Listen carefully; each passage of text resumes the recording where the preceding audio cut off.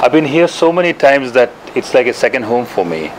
This place, I think I've, I've done so many of these research seminars and so many talks here that it's it really feels like home.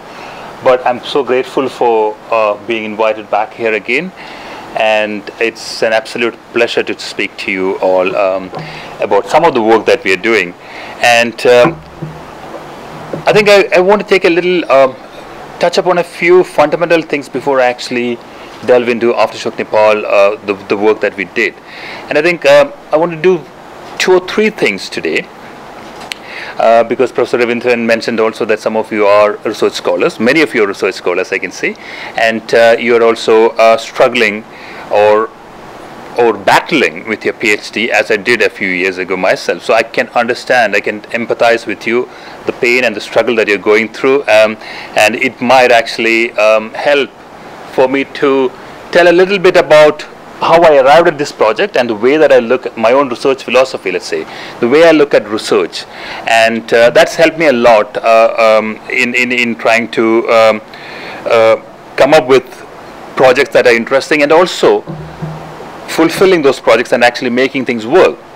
Um, so essentially that's what I want to do. I want to speak about research a little bit and try and try and uh, demystify this this thing um, and provide and use that as a context and, and provide that context so that you can understand why I do the kind of research that I do really. Um, and um, maybe I want to also touch upon a touch on a little bit about different ways of approaching research. For me, research is not just one set path really it's it's it's it's a really interesting way of doing things understanding the world uh, uh, explaining the world um, but also it need not be in a conventional way, um, it can be quite adventurous, it can be quite cool as well. Um, so, I think one way that we could help demystify this is actually to understand or actually to think about research as something that we all do. You don't need to be a scholar to be a researcher. For instance, I come from a journalism background essentially, and I was doing research. An NGO person would be doing research. A student, even when he or she is not writing an essay but doing something else, they would still be doing research. So in a way, all of us in this room are researchers, right? So that hopefully should give you a little bit of um, um, uh, happiness about that, the, the, whole term about that. And also, um, what what makes research in scholarly terms different is number one the depth probably the, the, the way that we carry that out, the systematic way that we carry it out, in other words, the rigor of it. So research, simply put, it's, um, it's an investigation that we undertake. It could be any kind of investigation, really. It could be an, it's an investigation that we undertake to, um, to gain more knowledge and understanding about a certain subject. That's a simple way of doing it. Um, it's a way it's a process it's actually a process in a way uh, that we, we use uh, to understand the world um, and what goes beyond. But it also goes beyond what is commonsensical. It's not just about describing things. That's what makes research or scholarly research different from your regular kind of marketing research, which is about numbers and, and the kind of um, uh, uh, normal research that we would do. So, scholarly research in that sense creates original knowledge something that was that did not exist before. It might be actually putting two and two together, pulling some, some things from here and there, and putting it all together to make five. So it's something you build on really. So it's there is something there is an original contribution to that.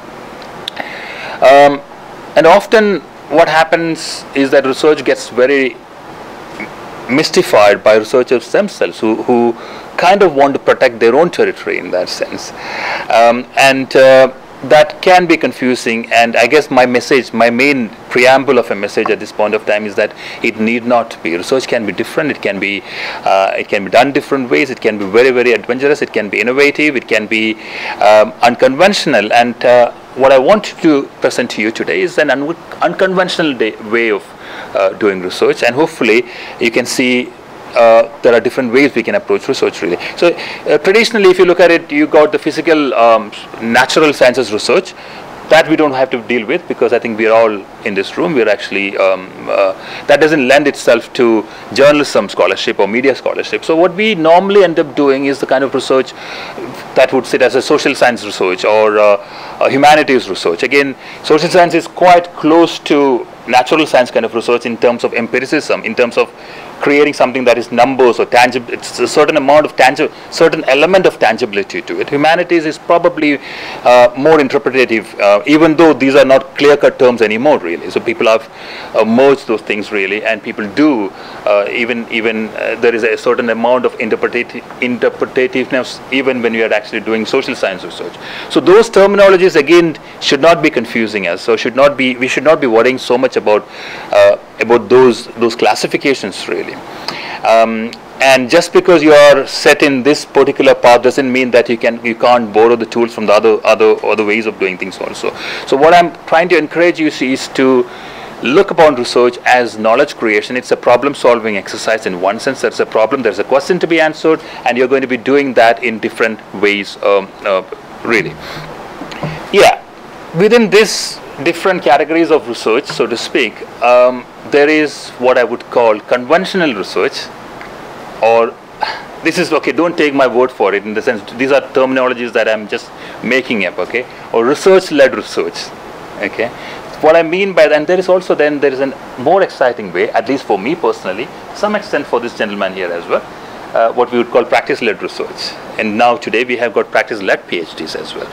So. Um, Conventional research is more about, um, I think what Aina just presented to you was, was, was a traditional method of way of doing research. So it's essentially trying to explain something, trying to look at some kind of phenomena, whether it's a media phenomena, whether it's a, uh, something that exists and try to make sense out of it you know you you you you apply a certain methodology in which case in his case it was a contextual uh, analysis that we did, that he did. It could be a content analysis it could be a framing analysis it could be interviews any number of methods you can uh, you, you, can apply that to create uh, to analyze and, to to produce uh, data and look at the, those data and then analyze and come to a, some kind of a conclusion. Now practice-led research is probably less conventional, even though it's actually getting a lot of traction. For instance, our own university have got um, two kinds of PhDs. For instance, one is uh, regular PhD, PhD, which is a research-led uh, kind of a thesis that you write, um, and, the, and the other one is a practice-led pathway, or there's some some of it. It's also called sometimes as professional doctorate. So essentially, you're actually doing something, reflecting on that, and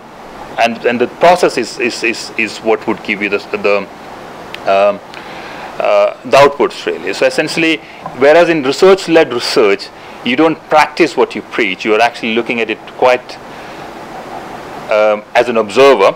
In practice-led PhD, there is elements of ethnography to it. So you're actually rolling up your sleeve and doing something and that process is being analyzed and so also is the is the outputs being analyzed now personally for me uh, when i i mean when i'm a journalist like i said i was a journalist like i said so i come from a very practice background and for me when i started research it was a really exciting opportunity and uh, i'm i'm very grateful that i actually did a, a, a research led PhD, in that sense a regular conventional PhD, because it gave me an understanding of an appreciation of that mode as well.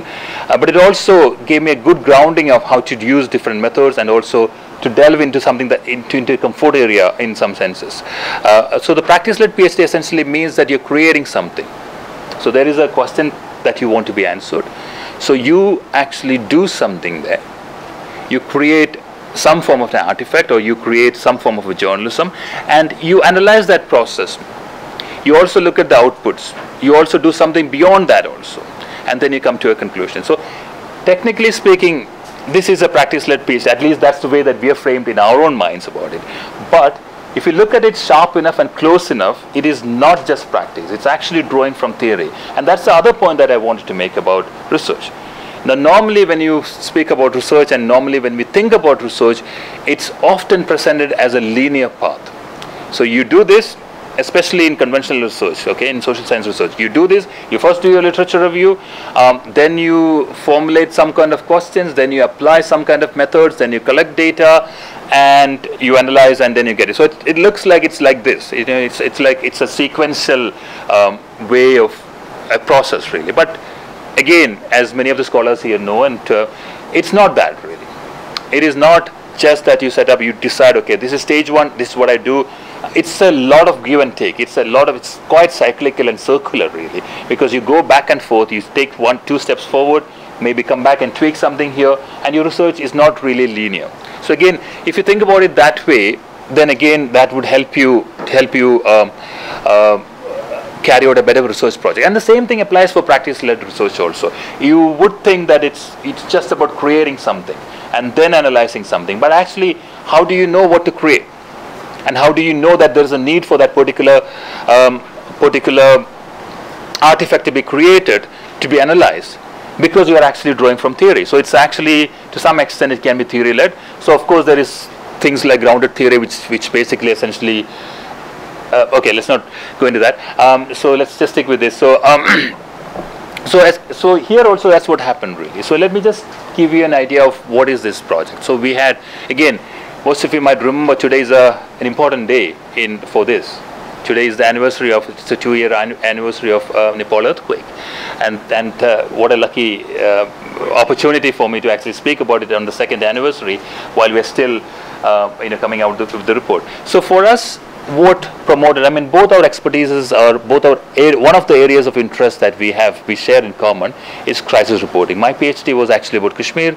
I've been looking at it. I, I'm, I'm more I'm interested in media representations of crisis situations how media coverage, um, what kind of coverage media normally produces, what are the kind of impacts or potential influences of that coverage on that particular conflict or disaster itself. That's the kind of things that I'm really interested. But also in, in the last few years, it's also widened. So earlier I was really narrowly focused in terms of conflict, but now I'm more looking at disasters. So because what I find is that the fundamental um, uh, theories or the fundamental underpinnings are the same thing, and, and, and what works in a in a man-made crisis is the kind of similar thing that happens also in a in a natural disaster. So so we had this um, interest anyway, and then this particular um, earthquake happened, and for us it was an important occasion because most of the disaster studies have been done in a Western um, centric um, uh, environment really. And we wanted to see what and we wanted to actually build on that really. So our knowledge in have in fact NR has written quite a lot about this really. And uh, from the theoretical knowledge theoretical understanding and looking at other situations of disasters we knew two or three things were going to happen. One media was going to cover that extensively and which, which, which of course it did for the first week or the second week probably about 10 15 days so there is a surplus of media coverage. The whole world is landing in Nepal and they're covering it in a very superficial soundbite kind of way.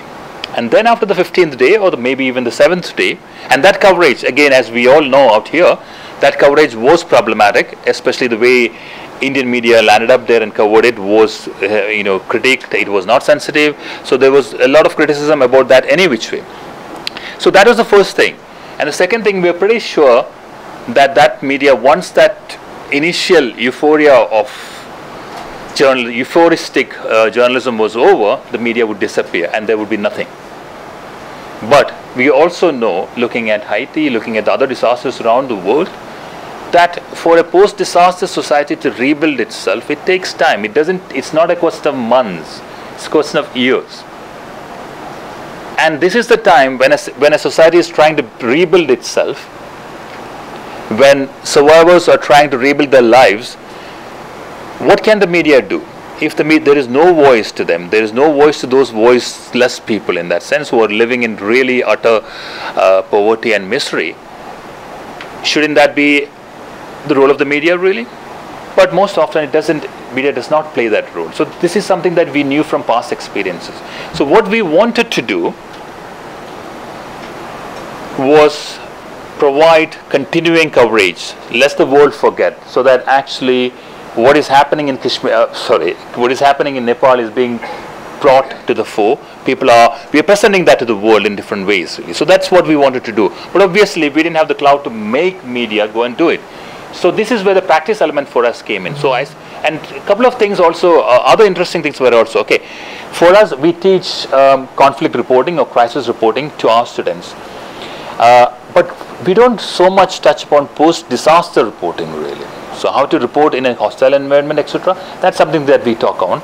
But this was going one step ahead, okay. And we didn't, we felt that we didn't have enough understanding of what are the needs of a post-disaster society, and whatever and um, how can journalism meet then? What is the role of journalism there? So so many questions were actually in our minds. And again how do we train would-be journalists in that kind of reporting?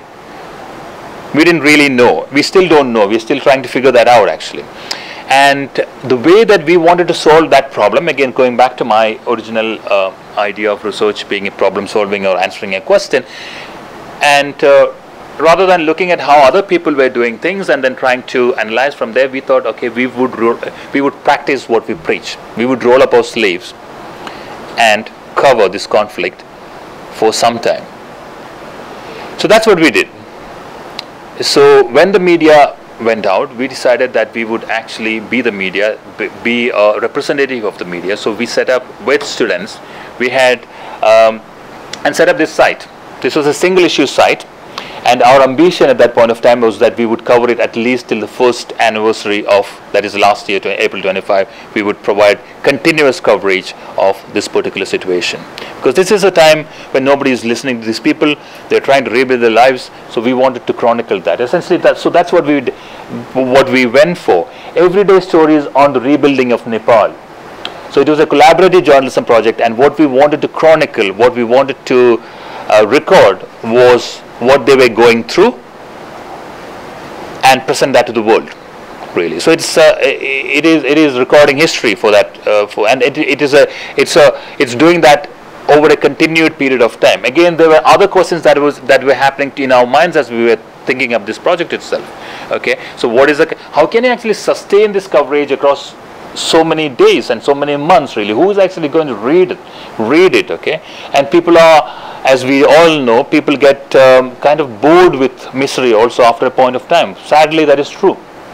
There is there is an overload of these these kind of emotions, and okay, every day people are dying. You don't, its news value goes down really. It becomes ordinary, and as we know, news is not ordinary. News is extraordinary.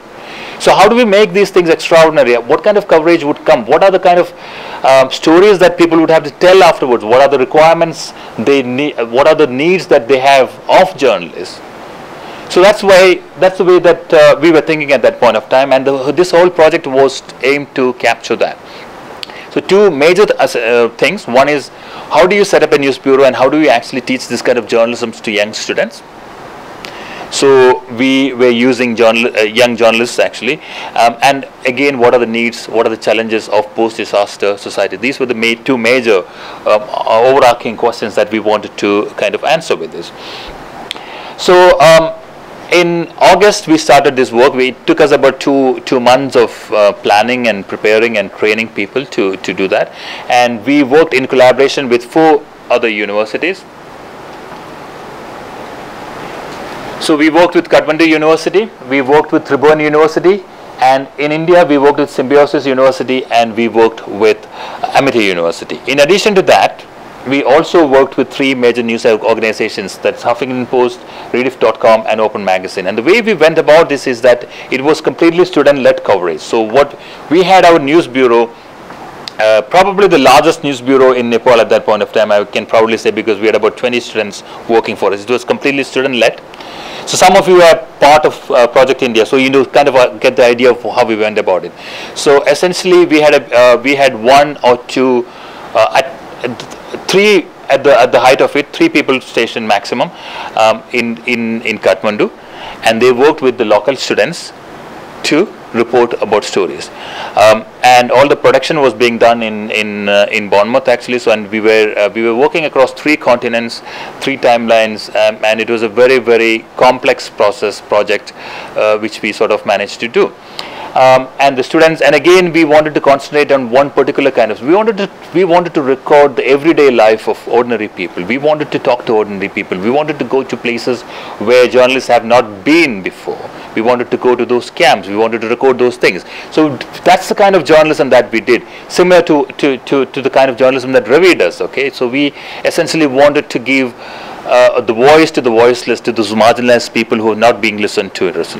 So we did different kinds of stories, but bulk of our stories were um, interviews. So these were little interviews with people who have survived the earthquake. So essentially that's the kind of journalism that we did. Again, this was an experimentation on our part. We wanted to use that that format. Humans of New York is basically interview-based stories done by someone called Brendan Brandon Stanton, a photographer originally. But what he did was he started. Um, um, he wanted to chronicle. He was a photographer, so he started doing pictures of people in New York. Initially, that's how it started. But then he realized that these all these pe- people whom he was meeting and photographing had interesting stories to tell.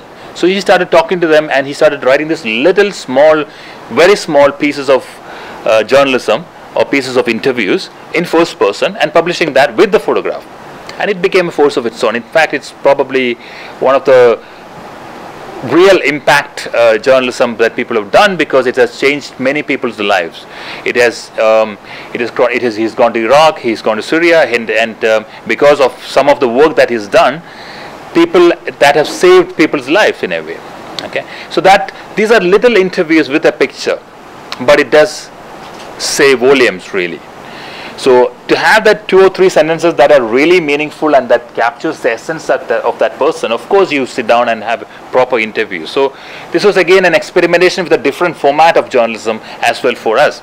So a bulk of our stories, our students interviewed victims or survivors, um, government officials, uh, NGOs, every kind of stakeholders who are involved in this and we publish those little interviews. So that's what you see out here these little, um, these are all people telling about their experiences of surviving and trying to rebuild their um, uh, earthquake. So we published roughly 93 of those stories. We interviewed more than 150 people. Uh, in in all, I I think we had about 30, 35 students involved in it and about seven staff members involved in this project. And besides that, we also did uh, regular journalism. Okay, we did what you would expect of any news agency to do, news uh, news organization to do. We did long pieces, uh, some of them going up to 1,500 words, 2,000. I think the longest we carried was about 2,500 words. We did interviews, Q&A interviews, essentially, like you would have in a in a magazine. So we um, we our reporters uh, really um, explored the issues with politicians, with NGOs. So what is happening, what is not happening so long pieces also were there. We did multimedia pieces. There, there were videos.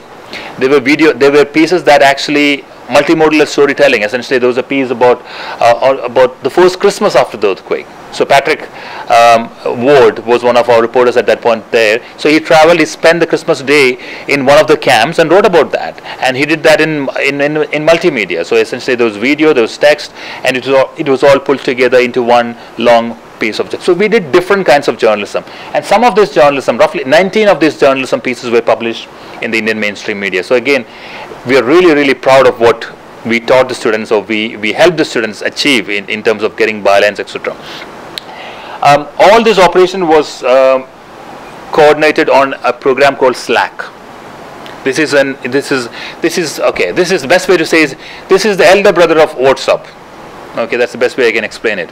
So it's like WhatsApp, but it's got much more uh, better functionalities than um, than than WhatsApp, and it's a program that's being used by many news organizations. Beginning, they are also beginning to use it. When we started, I think we were one of the amongst the first ones to actually use that for this particular purpose.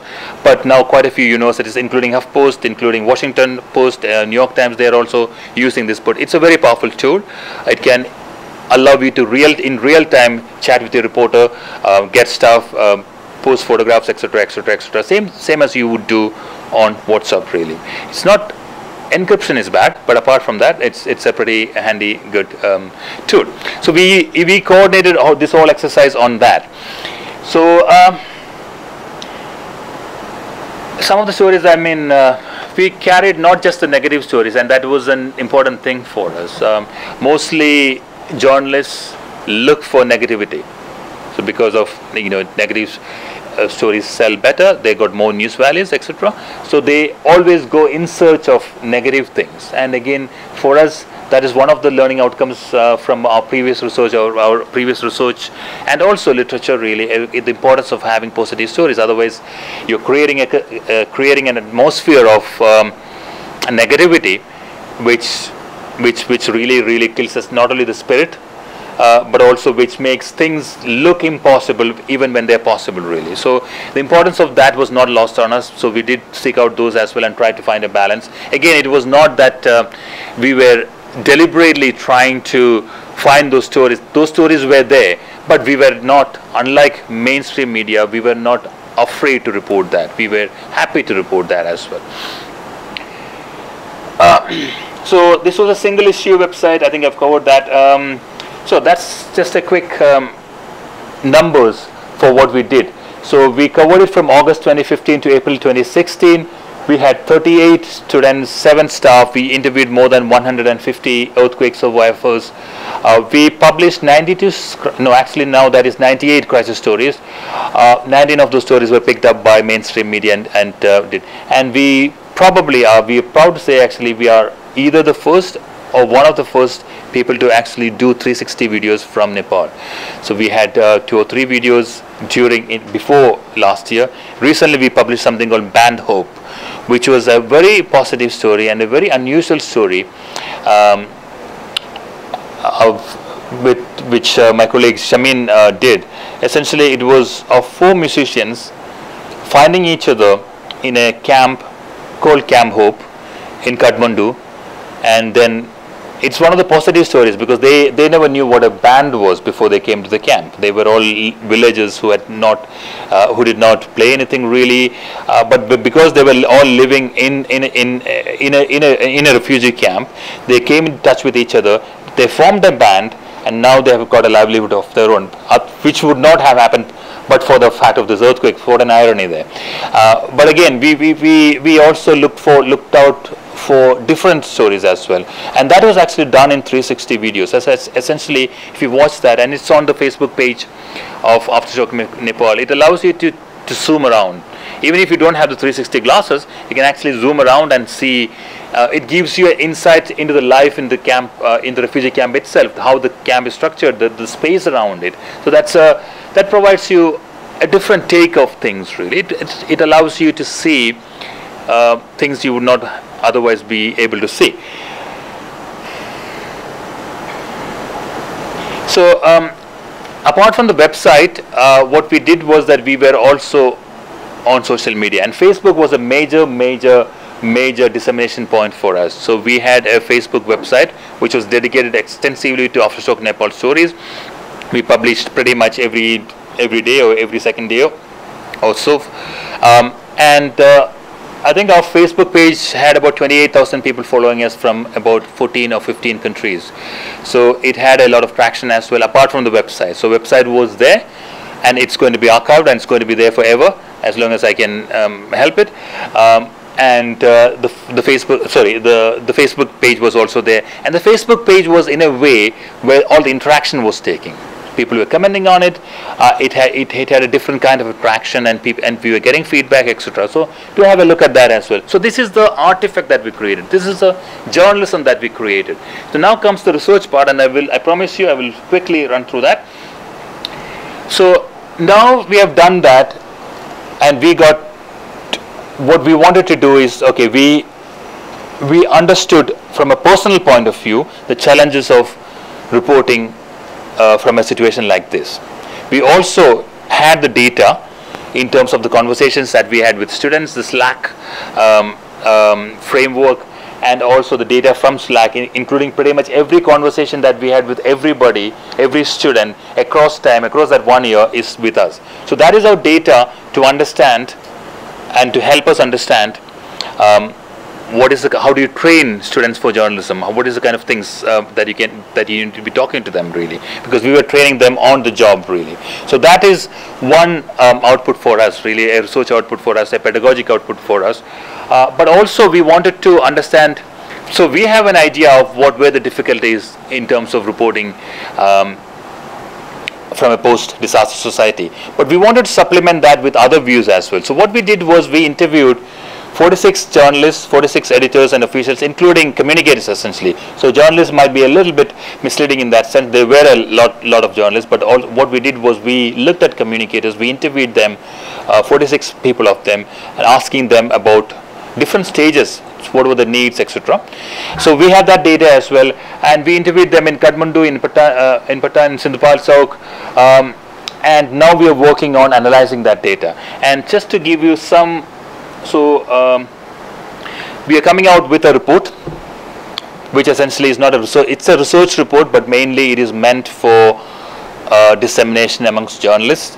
So it might have, it will, it will certainly have some guidances for journalists of how to go about reporting some good practices for journalists. So that is one way that we want to, um, we want to do, we want, see, um, this is interventionist journalism. This is an intervention.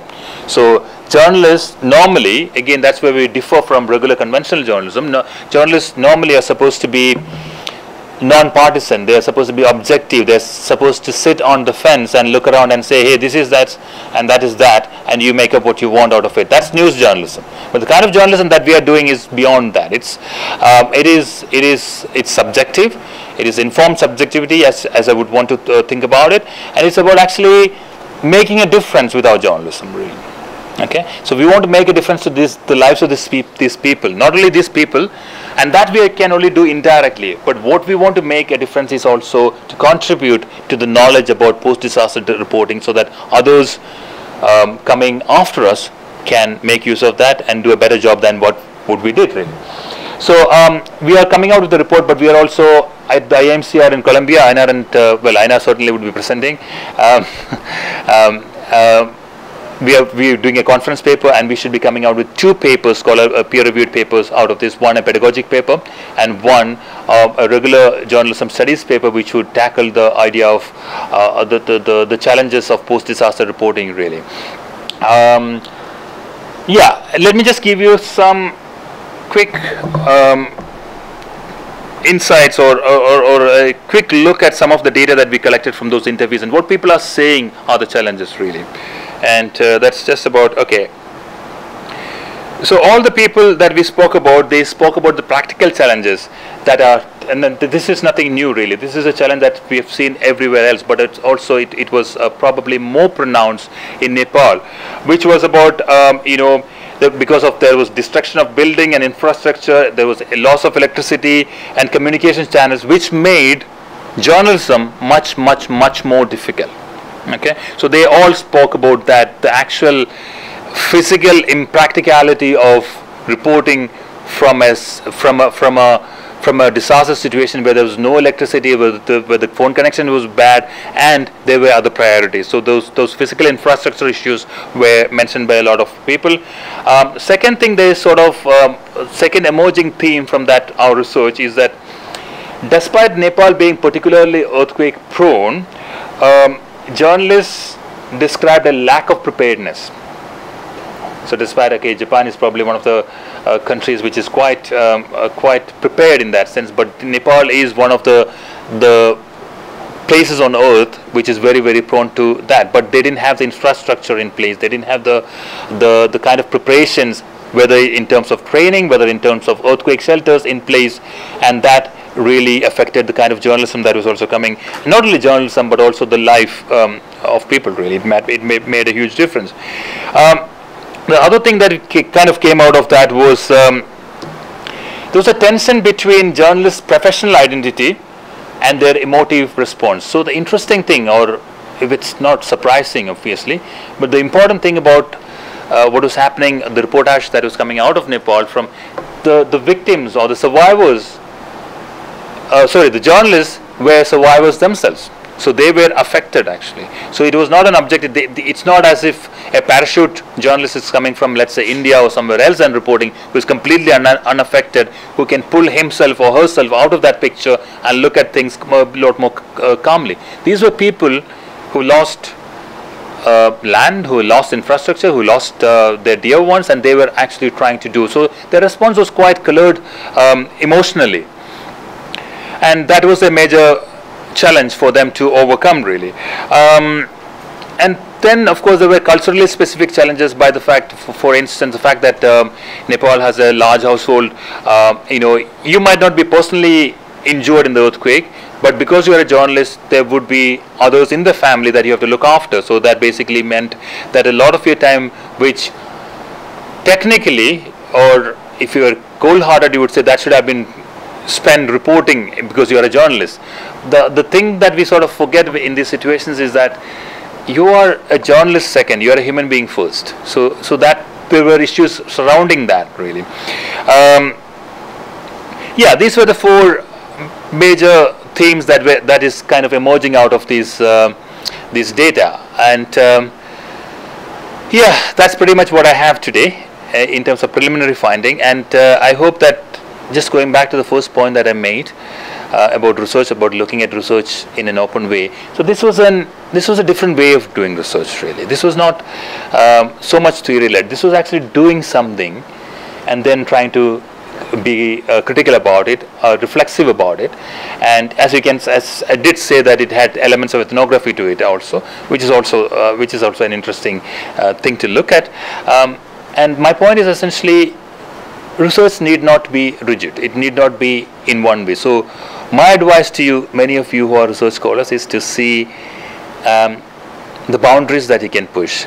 See, think about it differently. Think about the, the different approaches that you can take, um, um, and that would make it and make your research your own. Really, make your research your own, and that would make it interesting for you, and that would also allow you to actually be excited about it till the very last minute and, and, and, and, and get a completion or whatever else and, and come out um, really, really engaging piece of work.